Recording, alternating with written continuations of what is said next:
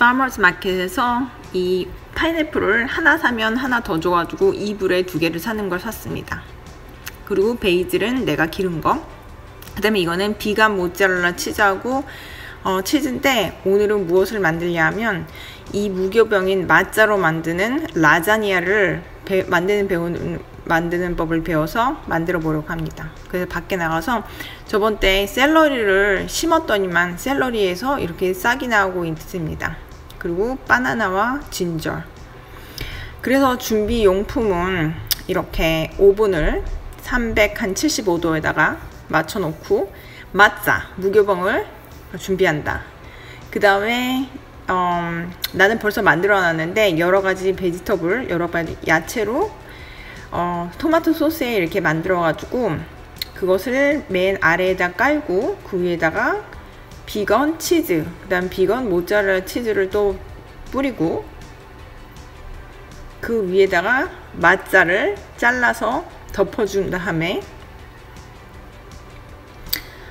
또 토마토 소스 야채를 한 켜 올려주고 나는 약간 좀 두껍게 했지만 그 다음에 또 치즈를 한 겹 올려줍니다.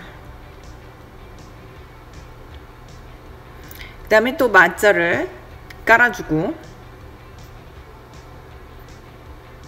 그 위에다가 마지막 이제 야채 토마토 소스 야채를 올려준 다음에 나는 양 조절을 잘 못해가지고 너무 조그만 팬에다가 했지만 그 위에다가 또 치즈를 올려준 다음에 그냥 보통 치즈를 먹는 사람들은 보통 치즈를 쓰면 더 맛, 맛있는 건 당연하고.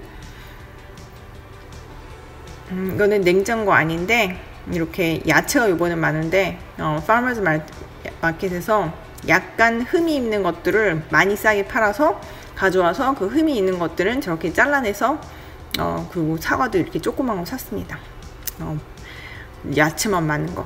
그래서 다 한 30, 아, 25분 한 다음에 그 다음에 25분 더 해서 처음 25분은 어, 뚜껑을 닫고 하고 그 다음에 처음 25분은 그 위에 덮은 거를 빼서 다시 이렇게 어, 부어서 이게 완성품인데 어, 내가 아스파라거스를 넣어서 아스파라거스를 잘라서 넣어야 되는데 어, 긴 거를 넣어서 좀 자르기가 불편하긴 했지만 굉장히 훌륭한 마짜 라자니아가 돼서 어, 꼭 마짜로 안 해도 되고 물론 라자니아 그걸로 하면 더 되고 그 다음에 요번에 아침에 아침에는 요즘 이렇게 딸기 아이스크림 같이 먹는데 얼린 바나나와 얼린 딸기를 블렌더에다 저렇게 갈면 이게 완전히 딸기 아이스크림 아무것도 단 거 안 넣어도 그 위에다가 오늘은 파인애플하고 그 다음에 블루베리를 얹어서